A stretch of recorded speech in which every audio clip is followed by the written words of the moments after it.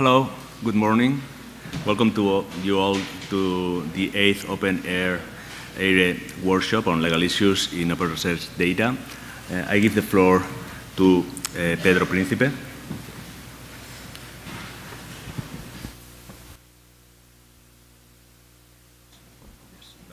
Okay. Okay. Uh, good morning. Um, so, welcome you. It's really a pleasure to welcome you in this um, OpenAIRE workshop uh, on legal issues in open research data.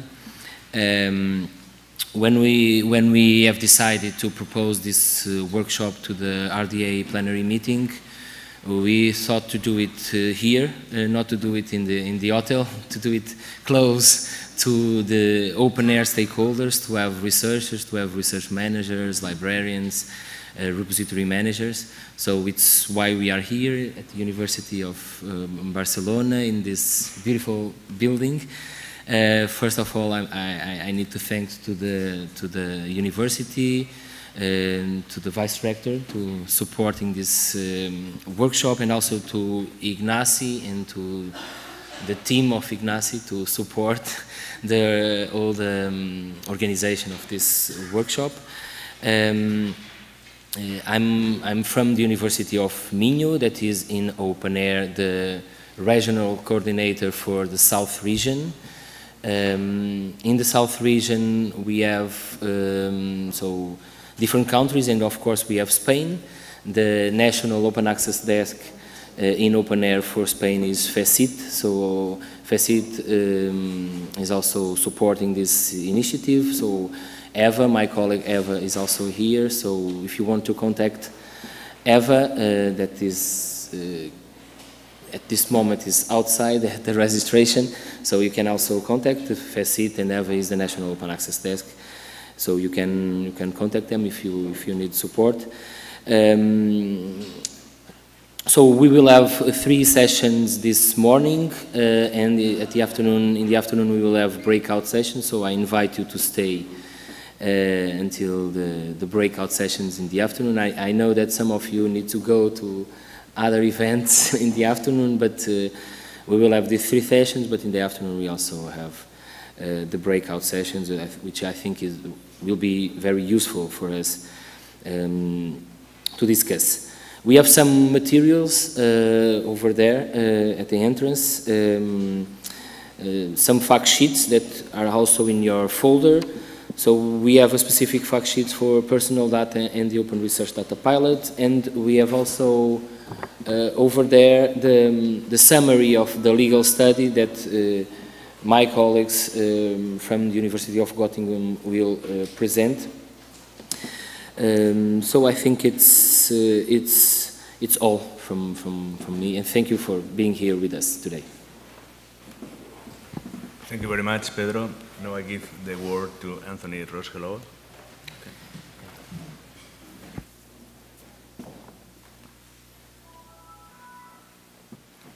So, thank you, Pedro. Uh, thank you, Oriol. Um, and welcome everybody to this uh, OpenAIRE workshop. Um, uh, very thank thanks for the invitation as well. Um, so my name is Tony Ross Hellauer. I am scientific manager for uh, the OpenAIRE Initiative I work at the University of Göttingen. I work at the University of Göttingen, um, and at Göttingen we are responsible for the overall coordination of the networking side of OpenAIRE, for, for the network of people, and I'll explain uh, as we go. So, what is OpenAIRE? OpenAIRE exists to foster the social and technical links that enable open science in Europe and beyond. And we are a socio-technical network. So we um, have people in place, and we have technologies. And the, and the, the, uh, uh, the network helps inform the development of the technology, and the, and the technology underpins uh, the outreach that's done by our network of national open access desks. We have um, a, a dual core. We want to link open science and this means putting policies and practices together to make uh, sure that open access, open access to publications, but also to research data, to software, to other research outputs, to the whole research life cycle, to make sure that the open access, uh, the paradigm shift that we're seeing is a sustainable one based on open infrastructures. And we, our, our mission is to put the research within its proper context, so uh, to provide intelligent discovery uh, uh, by linking these research outputs so that people can find them. Uh, the aim of open, the ultimate aim of open science is about increasing transparency and trust in science, uh, but, and also about enabling the reproducibility and the reusability, reproducibility of results and the reusability of products. And also about opening up um, the means of monitoring and analyzing uh, science um, so that these aren't based on uh, only proprietary tools as well. So who are we in OpenAIRE? We're, we're a big consortium. We have 50 partners from in every EU country and beyond. Uh, we are uh, open access experts uh, within libraries and data centers. We are information and computer science experts, building e-infrastructure technologies. We are also experts on specific topics including legal topics, which we'll hear about today from my colleagues at the University of Göttingen. And we are data communities. We've been in 24-7 operation now since 2010. We've um, had four project phases to date, and we will be forming a legal entity in 2017. So uh, open, here, OpenAIRE is here to enable open science in Europe and, and beyond for the long term. As I said, we have this dual core. Um, on the one side, we have our, our network of people, and it's a, it's, um, this is really the, the crown jewel of OpenAIRE, um, as I see it. So we have a network all over Europe of 33 expert nodes, the national open access desks. They're in uh, every EU country and more. And they're there to help local researchers, research administrators, project coordinators with training and support on open access and open science to help develop policies within their countries, develop and align the policies. And they're also there to help with technical assistance.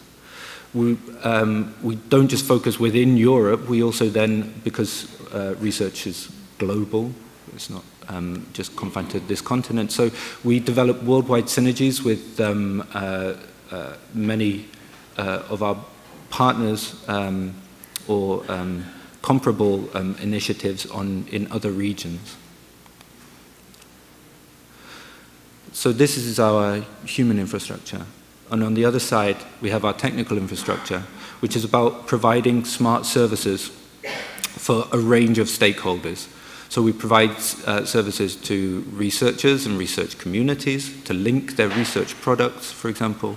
We provide services for data providers so that they can um, uh, easily make their data um, openly available so that uh, we can uh, link, make those links. We provide services to funders and research administrators and also to third-party service providers. All our information, our, um, our whole information graph is available through APIs and linked open data, so anybody in the private sector or in academia can build on it.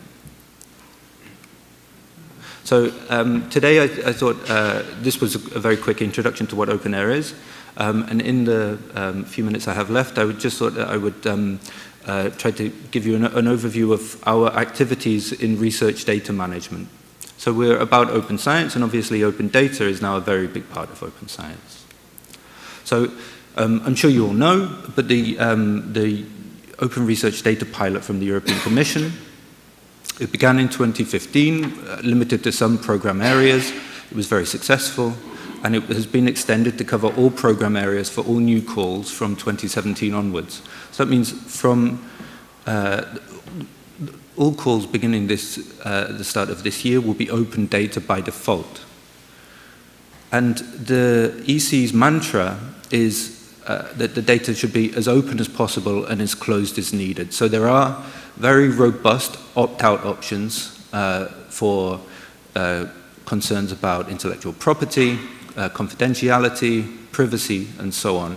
And we'll talk um, today uh, about, uh, in, um, about some of these issues. Under the pilot, projects must uh, develop and keep up-to-date a data management plan, deposit data in a data repository, uh, ensure that other people can find it, access it, um, and make sure what tools are needed uh, to use this raw data. And these, I, I, I make clear these four um, stipulations because it's really about putting in place the people and the technologies to make sure that researchers know what they have to do, what this means for them, and to make those processes easier for them as well. So this is our technical infrastructure. Um, and here on the, on the left, you'll see um, a range of data providers, including data repositories. We, harvest, we publish guidelines for these data providers so that they can uh, make their information publicly available and we can find it and uh, aggregate it. We ingest all this information, uh, do a lot of clever technical things to validate it, clean it, deduplicate it, and so on. And then we link those products to each other so that um, if you have a publication, for example, then from the publication you can link to the research funding. You can see uh, who funded it. You can see which institutions uh, were involved. You can see which data sets underpin the publications uh, and, uh, and so on. And this is really at the core of open science, because if open science is about openness and transparency, and it's about making those uh, research uh, products public, then really it's about the interlinking and the interoperability of those research products that makes the open science, because this is uh, how you make things findable and accessible, and this is really our mission on the technical side. And then um, we make these, this information available uh, to funders and others to measure impact, evaluate, um, uh, to do evaluation, and, and they can um, look at research trends as well. So and these are some numbers about uh, what uh, the numbers of publications in our graph. We also have Zenodo, um, uh, our uh, open our open repository for all research products hosted by CERN. Uh, Zenodo, you can upload easily up to 50 gigabytes of data or anything else um, and link it directly to your research funding. Uh, we're also looking at new horizons for open data. So um, Paolo, our technical director who, who walked in earlier, is uh, co-chair of the Scholix initiative, along with Elsevier DataCite and others. And they're working to enable the exchange of scholarly links across domains and platforms. Uh, so to put in place um, the, the, way to make these links interoperable. Uh, we're also developing, and we'll hear some more about this today in one of the breakout sessions, developing a tool called Amnesia for the effective anonymization of sensitive data. So, and this is again about making the researchers' lives easier. Um, and we have a new project uh, which started at the um, beginning of this year, Open uh, Connect. And this envisions providing open science as a service, so providing dashboard tools for repository managers uh, and for research communities to make sure that they can link their research products easily and effectively. Uh, on the human side, we do training and support. So we have a range of um, uh, dissemination materials, some of which uh, you'll find here today, and more you can find on our portal. Uh, we also run many webinars. Our um, webinars on research data management and on writing DMPs have been uh, very, very successful and we'll be running uh, many more of those. So you can find information about the data pilot, about creating data management plans, selecting data repositories and so on. And then uh, uh, finally, we also um, advise on open data. So uh, we, our national open access desks, as well as providing the, the first point of contact for researchers, research administrators, and others who want to know about open data, they're also um, working and will, and this will become more of a, a theme as we go into the future, to align and develop effective open data and open science uh, policies across, the, um, across Europe. We provide feedback to the European Commission on their open data policies. So last year, for example, we, um, uh, with uh, a, a, another EU initiative, EUDAT. Uh, we provided feedback um, on revising the template for the uh, data management plan in Horizon 2020. Uh, and we have been conducting legal research into research data management and open data. So in uh, 2013, we published a study which came out of um, a previous project phase, OpenAIRE Plus, called Safe to be Open, uh, on research data protection. Some of the authors are here.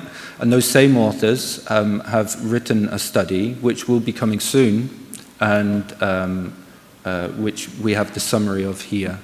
Uh, and those uh, authors will be presenting next. So this was a very quick overview of what OpenAIRE is. Thank you.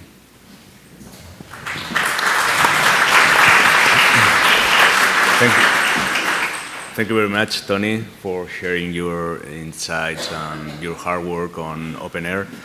So, well, this is the eighth workshop devoted to explore legal hindrances and potential solutions to open research data. If you check today's program, as Pedro have shown you, has shown you, uh, you have a full day ahead involving many things like personal data protection, data interoperability, open research, data pilots in Horizon 2020, infrastructures, then, well, a lot of things. So I hope you have a very nice workshop. I would like to take this opportunity to thank the organizing committee for bringing this nice workshop to our home, to the University of Barcelona. We are always um, have uh, open, um, received these kind of workshops with open arms. And also, I would like also to especially uh, thank those of you coming from abroad and also people uh, here.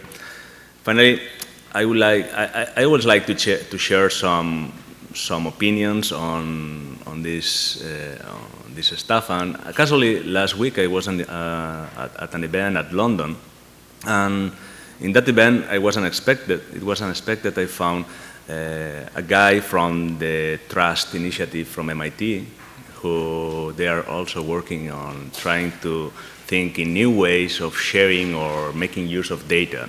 In this case, it was a guy uh, from Project Opal, and which actually is completely the opposite of sharing data.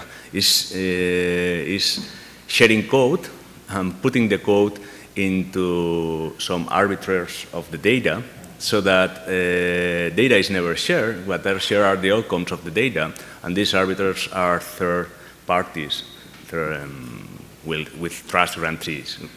So I thought it was interesting, so I wanted to share that with you because it's a, a different way of, instead of uh, giving, opening the data, is opening the code so that actually you can put that into, into whatever uh, data without uh, problems of privacy, in, in always in, in the good uh, idea that uh, this trustees has actually uh, well, well good um, privacy protection uh, policies.